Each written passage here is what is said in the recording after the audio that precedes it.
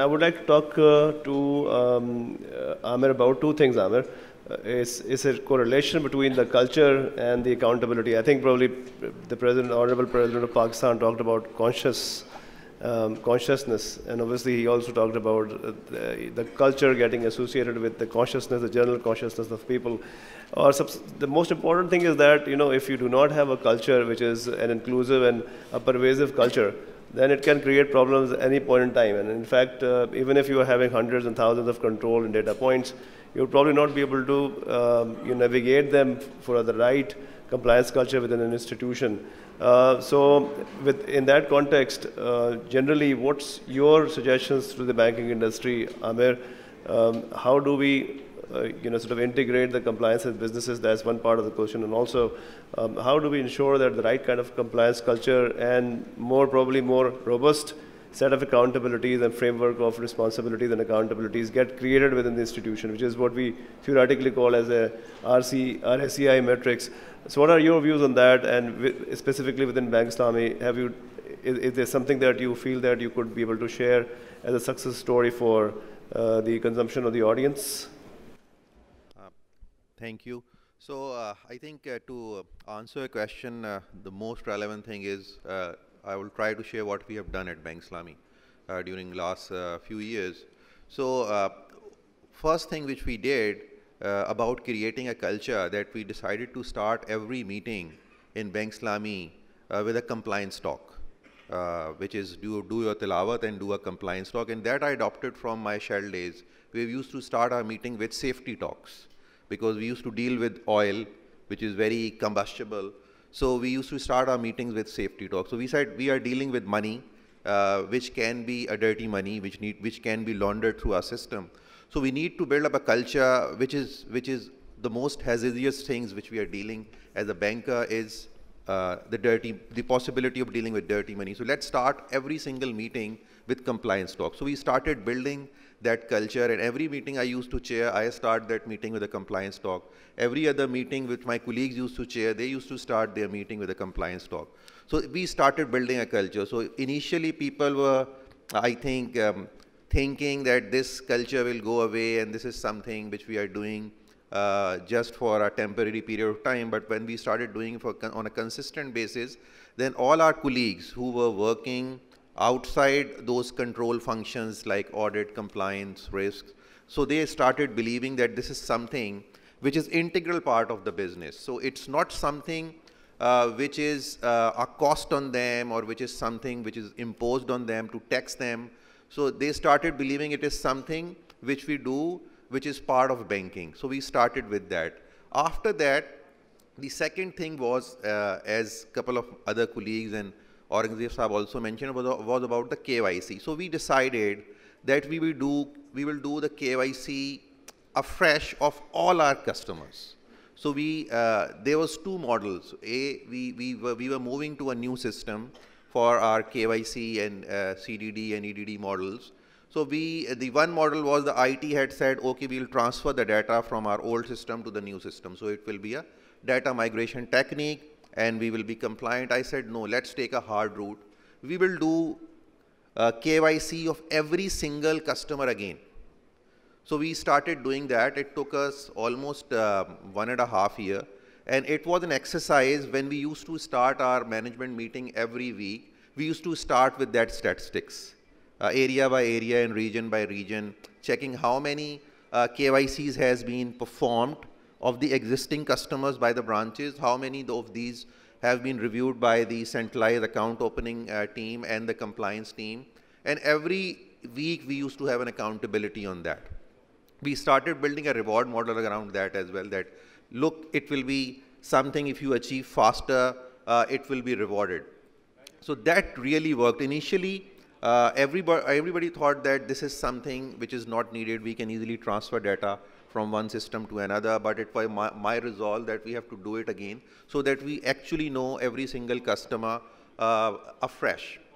So that was the second thing which at Bank Islami we did. And then when we did those two things, uh, although these seems to be more procedural, but they have a very pervasive impact on the culture. because when we were doing it, we needed to have more people working in compliance. So a compliance team, which then probably uh, was a team of roughly 10 people, grew from 10 people to 70 people, uh, considering the size of Bank Islami. So then the, peop then the people working the business started believing that there is a culture of investing into uh, this function as well. Uh, we invested a lot into training, that every week there should be a training uh, of uh, the AML laws, KYC, CDD laws, and I used to personally get connected with the trainer on those weekends.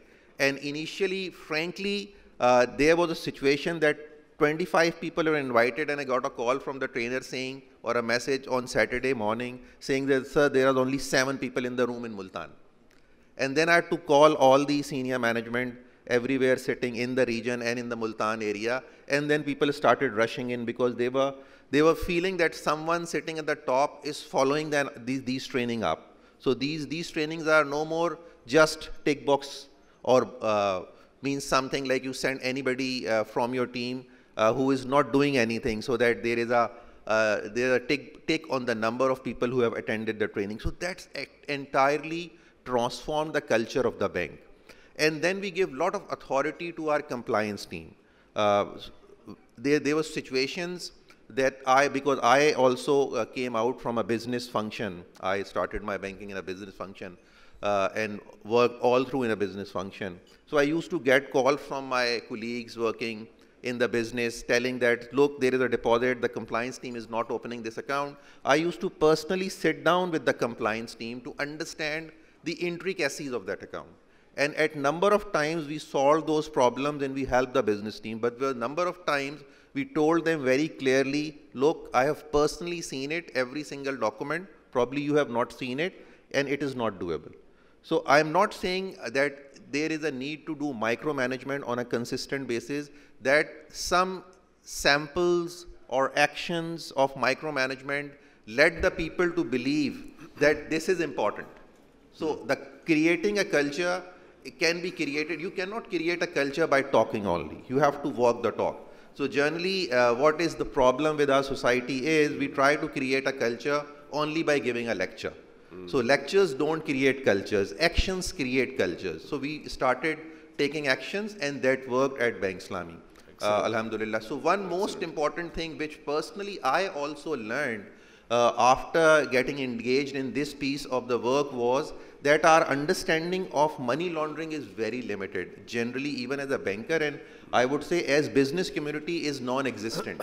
because when somebody walks into your bank and you ask him or her about uh, his sources of income, his expenses, his outflows and inflows, he or she believes that this is my personal space, how a banker can ask these questions. Mm. And this is still prevalent. Sometimes people complain that it takes months or weeks to open an account, but half of the issue created because of those months and weeks that people say, look, I have opened an account 20 years ago in X bank and now I'm here again to open another account after 20 years. And 20 years ago, that bank never asked me any question. So why are you asking any question? And I have an expired trust deed. Uh, so I'm not going to uh, change that trust deed for you. And I, am not going to update it to include the signatories. So then it takes a lot of time. Then bankers should ideally have a right to say no.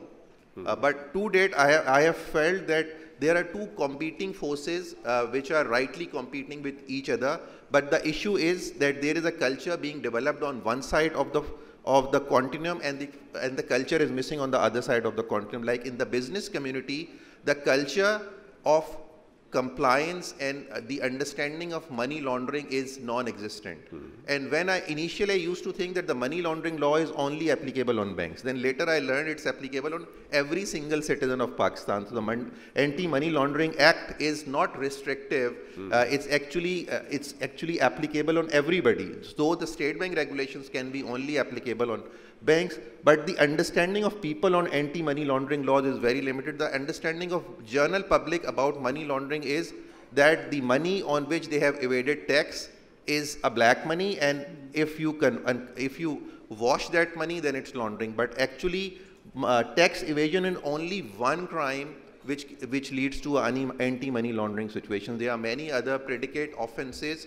which lead to a money laundering situation. So there is a need to create awareness among general public and mm. businesses telling them, look, the, these steps of due diligence which a bank is taking is to protect you. Now people have learned that they will not share their ID card copy without crossing it because they know it can be misused. Now people don't share yeah, their mobile yeah. SIMs with each other. so because people have understood it, what are the repercussions of doing that? Now people have, have stopped selling their vehicles uh, without getting those transferred in the name of new buyers. Earlier, I remember from my childhood days, we bought a car which was owned by somebody 15, 14 years ago. And then one day we have to transfer it, then we realize that there are 14 buyers or 10 buyers in between. The car has changed hand. Now the culture is changing on that side. But this awareness, I think there is a need to create awareness just like cybercrime awareness, mm. which we are creating on the anti-money laundering laws that, yeah. look, these, this, the money is either originating from a crime, that crime can be a robbery, hmm. that crime be, can be a, some other form of uh, uh, uh, activity which is, uh, which is harming the society or that money can be used for another crime, hmm. which can be a terrorist activity. So yeah. once we create that awareness, then the culture on the other side will also develop. And then this friction, uh, which is uh, existing between that the customer wants an account to be opened without telling anything in 30 seconds, and the banks want to do complete due diligence.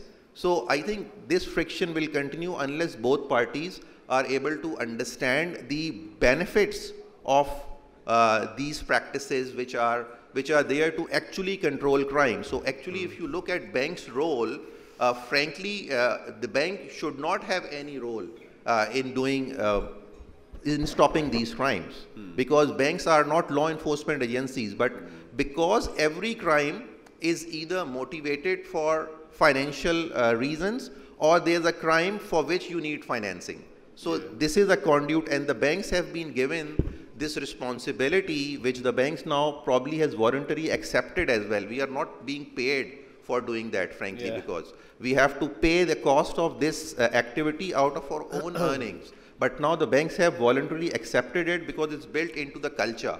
Now, so so the reason is now the banks as a social, as a citizen of this society, as a part of this society, have understood that we as an artificial juridical person has to do a role, has to play a role to stop the crime.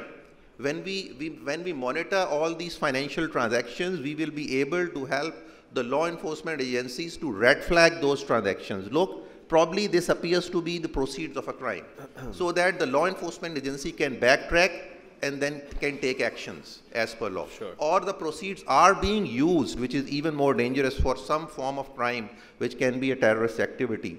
So if banks have accepted this responsibility, now there is a need for the public uh, mm. at large to understand that responsibility. And before uh, enabling, before asking the public to understand, it is more important for businesses to understand that responsibility. Yes. yes. So yes. this is my point of view on the creating a culture and then all the controls which are being built, they cannot be uh, the, uh, I won't yeah. say, we, as, as uh, auditors and accountants says, that no controls give you a, a, a, an assurance which is a complete assurance. It only give you a reasonable assurance. So these controls will only give you a reasonable assurance. Mm. But unless you create a culture, even these controls will not be able to, I would say, give that reasonable assurance which we expect from that. Sure. So culture is paramount, and for sure. culture, we need to take actions rather than just relying on talks and lectures. Thank you very much, uh,